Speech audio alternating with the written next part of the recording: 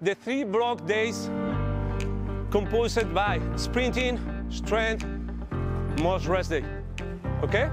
But it will tell you a lot the hurdles, how they can do the skips.